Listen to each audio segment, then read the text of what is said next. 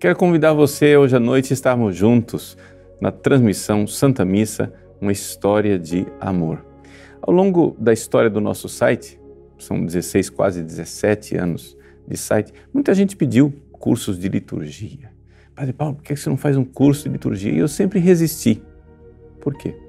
Porque eu tinha medo que as pessoas não enxergassem a história de amor que está por trás da liturgia. Então, por isso, me dediquei durante anos a ensinar as pessoas a rezar, ou seja, a se encontrar com esse Deus de amor na oração para depois estarmos prontos para dar o passo. Então, gostaria que você participasse hoje à noite dessa transmissão para você enxergar mesmo. Que história de amor é esta que existe entre Jesus e a alma, entre Jesus e a sua esposa, que é a igreja, que gerou tanta cultura, tanta coisa extraordinária?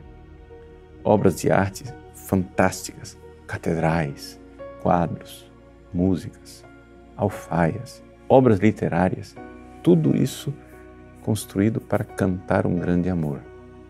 O amor da esposa por seu esposo.